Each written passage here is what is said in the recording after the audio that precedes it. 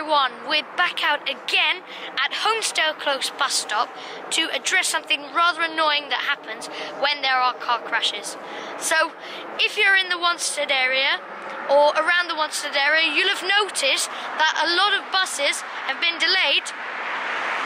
On the TFL Go app, you can't even see when the buses are coming, and this is because of a collision. You can see the information here on the app. So the buses are being diverted. Now, from what I've seen before, I think that what happens when a collision occurs is that an emergency response unit comes in about, I don't know, 20, 10 minutes. Takes a long time.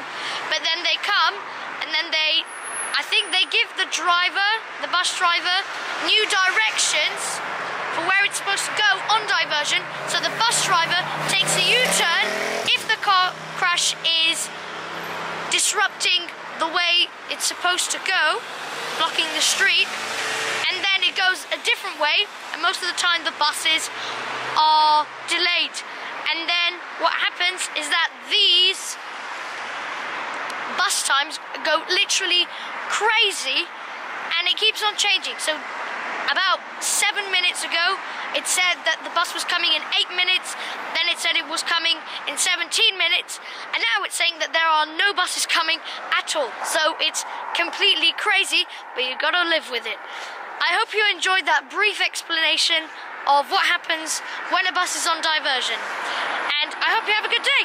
See you. Bye.